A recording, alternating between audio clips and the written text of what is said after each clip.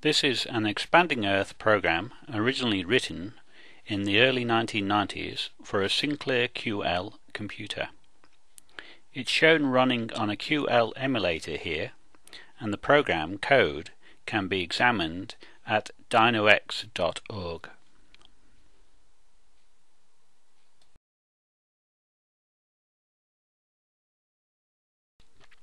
So uh, we first of all start the QL emulator, attach the folder to the Expanding Earth folder, uh, reset the memory to the maximum, and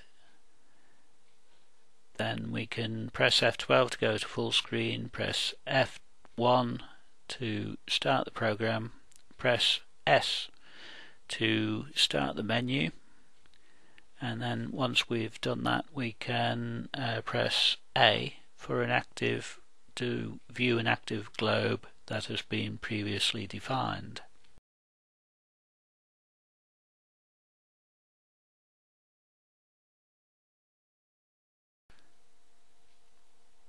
So this shows the previous globe that has been defined, expanding Earth globe that has been defined. If we want to come out of that, we can just press uh, escape, get back to the menu again, press active again, and we don't want to show a globe this time, we want to define the globe. So we can view it in the longitude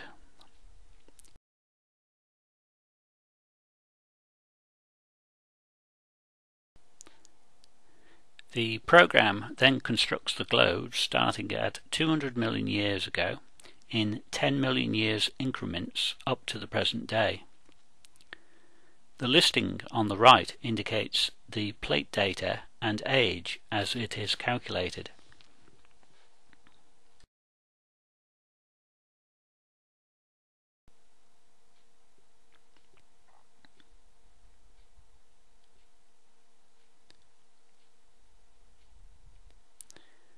I've just shown uh, one or two of these actually happening, but I've cut most of them out, and we've now jumped up to I think 20 million years.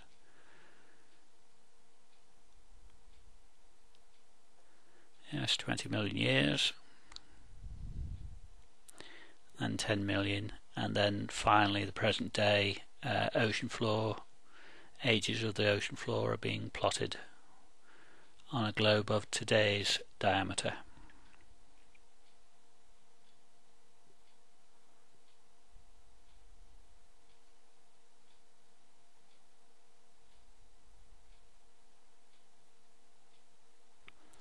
If the program crashes, uh, just type run again and it will restart the program.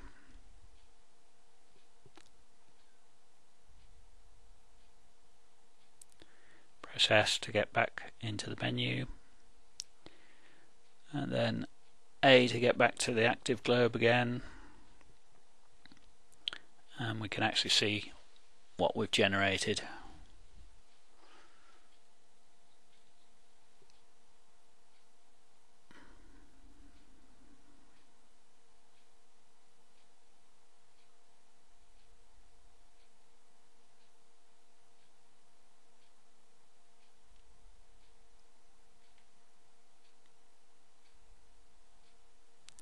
Press escape back to get back to the menu again.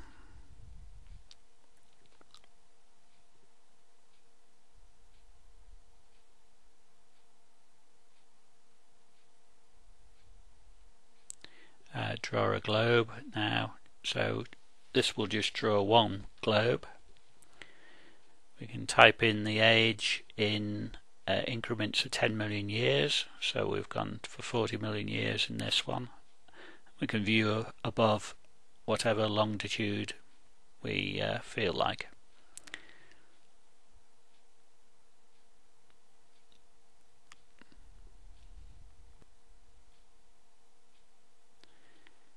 Uh, we can choose to save that or or not and press escape to get get back out to the menu again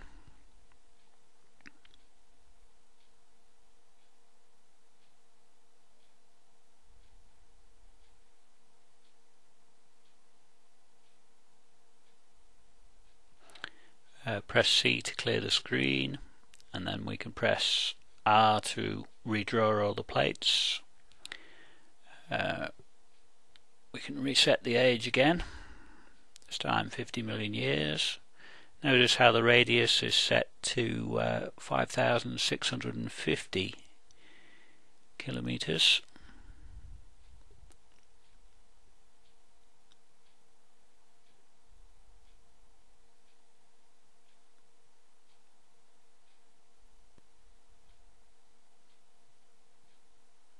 and again we can we could save that map if we want to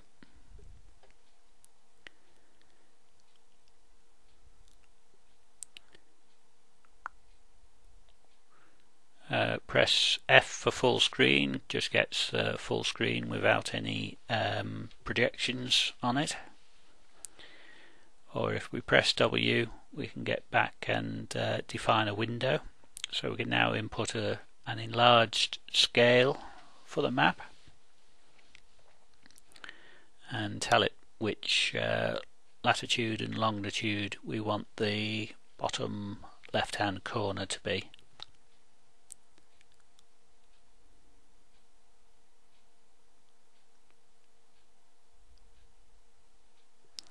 And press R to redraw that plate.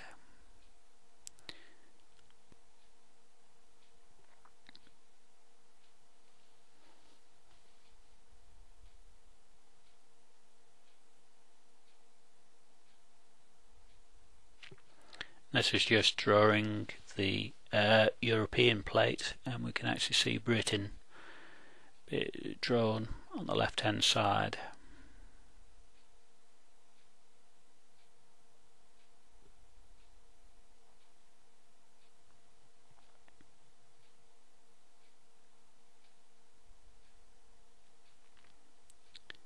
Uh, so we can redraw the whole uh, the whole of the map again in uh, Mercator at uh, 20 million years ago.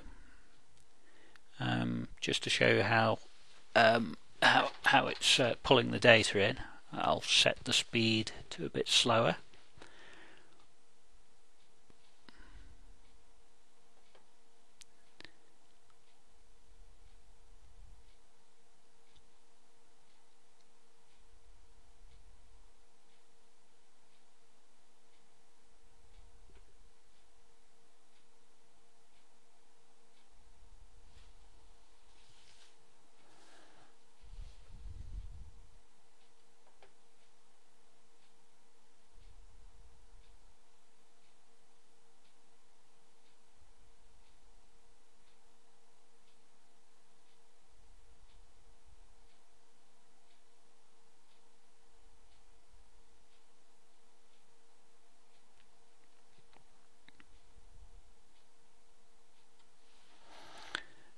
and we'll put the speed back again to the full speed just to finish off.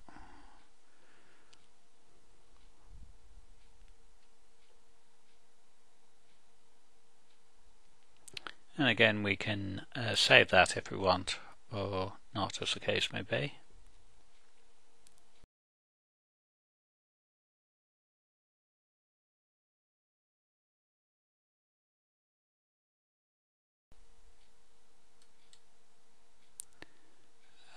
the uh, outline function doesn't work anymore. So just restart the program. Uh, the position doesn't work properly. And that crashes.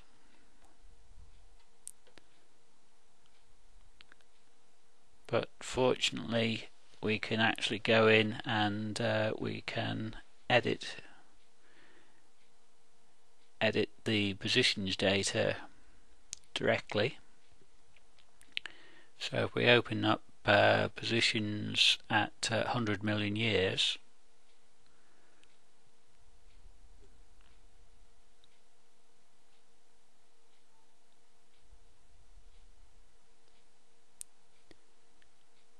and open that with Notepad because uh, not Word because uh, Word would uh, introduces all sorts of strange characters into it. Uh, so the first bit of um, data is the diameter of the Earth, or the ripped, just the Earth to um, 7,000 and uh, the first data is South America which we'll uh, reposition reposition in a bit of a strange place and rotate it round a bit.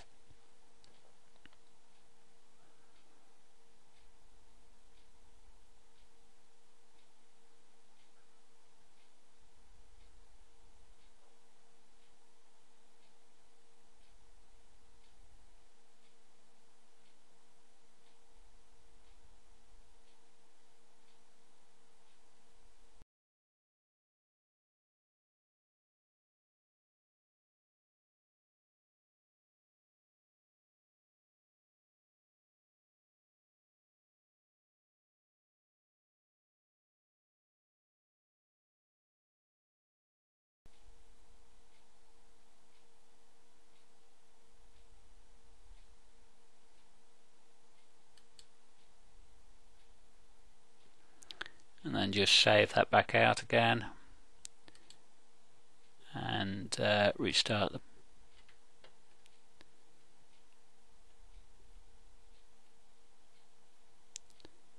now to F12 again to get it to full screen.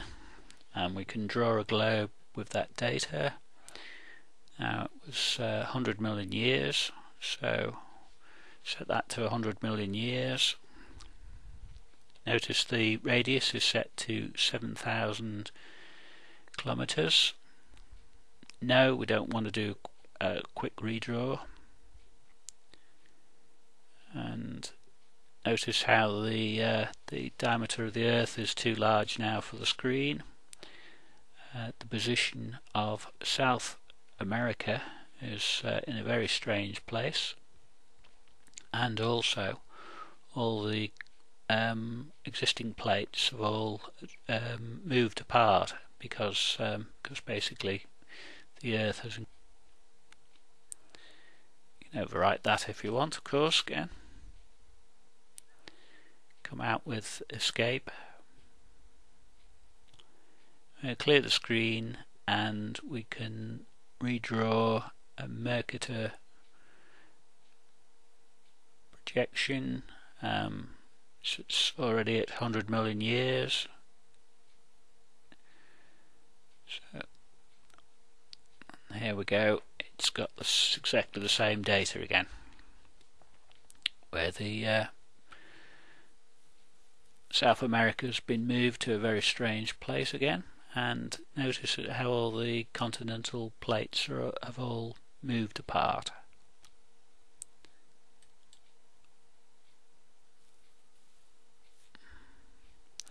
That's about it. I hope this has given you some useful ideas of how you might develop your own expanding Earth program.